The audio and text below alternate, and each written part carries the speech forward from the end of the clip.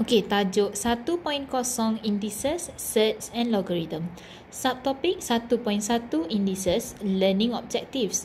Define an index. State the rules of indices. Apply the rules of indices. Solve equations involving indices. Okey, untuk tajuk 1.1 subtopik kita yang pertama ialah indices ataupun index. Let A be any real number and N a positive integer. Jadi, di sini kita dapat lihat A kuasa N yang biasa kita gunakan. So, A kuasa kepada N. A adalah base dan N adalah power kuasa kepada A itu. Okey, bila A darab dengan A darab dengan A sebanyak N times, okey, so kita akan dapat A kuasa N. So, di sini kita juga refer dia sebagai exponent of A. Kuasa itu juga dipanggil sebagai exponent of A.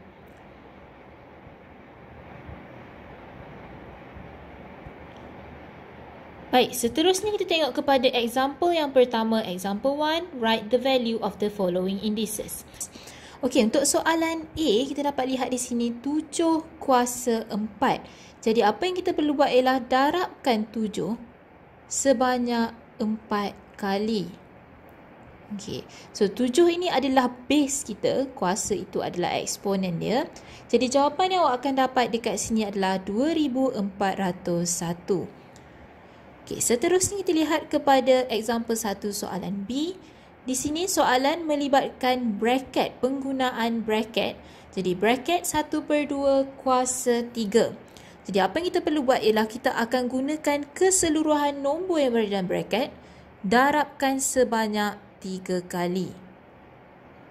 Jadi jawapannya di sini adalah 1 per 8. Okey, seterusnya soalan C. 2 per 3 kuasa 4. Jadi sama juga kita ulang semula. 2 per 3 perlu didarabkan sebanyak 4 kali.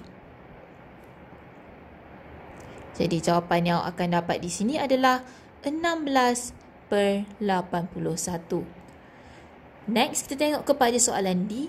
Penglibatan negatif dan juga bracket di sini. Jadi negatif berada pada luar bracket apa yang kita perlu buat ialah just tulis semula negatif itu dan 3 kuasa 2 so 3 darab dengan 3 which is 3 didarabkan sebanyak 2 kali dan terus tuliskan jawapan negatif 9 Seterusnya kita tengok kepada soalan E, negatif 9 per 2 kuasa 2. Perbezaan antara soalan E dan juga soalan D ialah bracket di soalan E melibatkan negatifnya dimasukkan ke dalam bracket tu.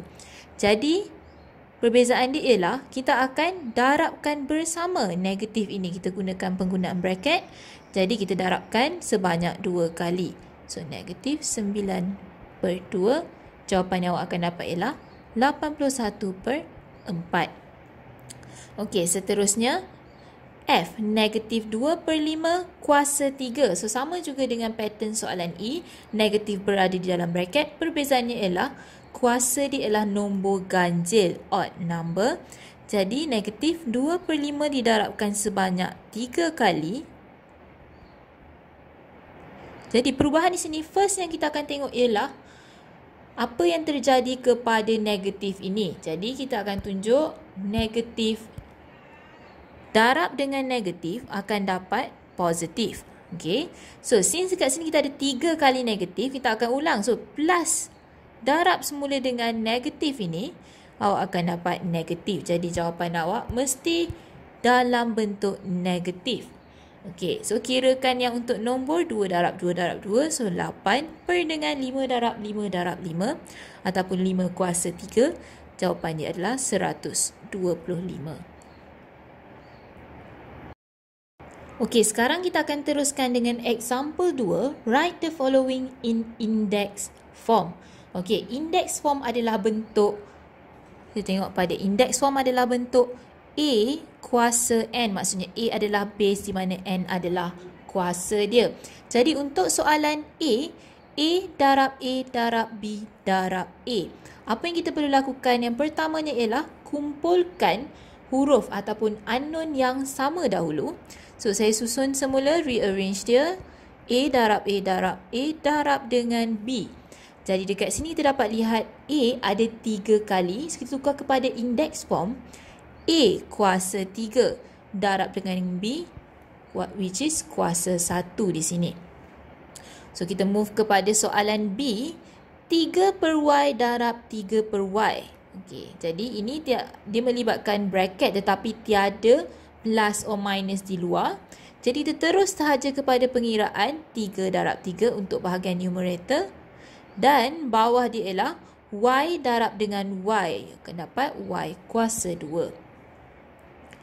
Okey, seterusnya soalan C.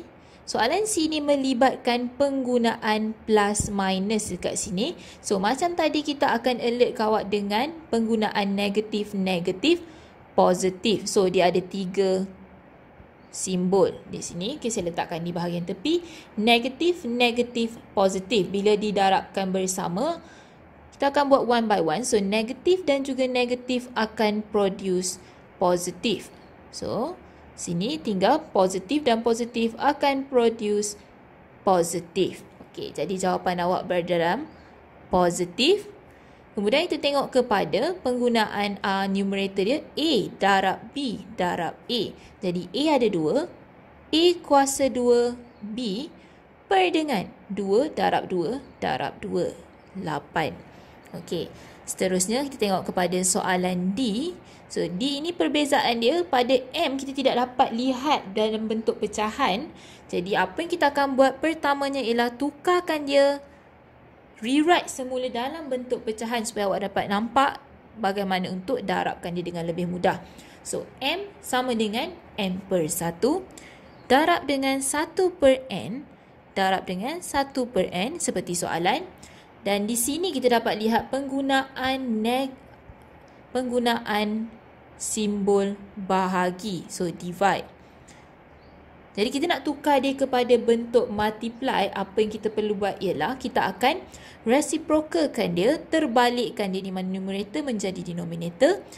Jadi automatik kita darab M per 1. Okay. So daripada bahagi untuk tukar kepada darab, kita akan terbalikkan bentuk pecahan ini. Kemudian baru kita akan darabkan numerator dan numerator lain dan juga denominator bersama denominator lain. Jadi M darab 1 darab 1 darab M akan dapat M kuasa 2 per dengan 1 darab N darab N darab 1 N kuasa 2. Juga boleh ditulis dalam bentuk M per N kuasa 2.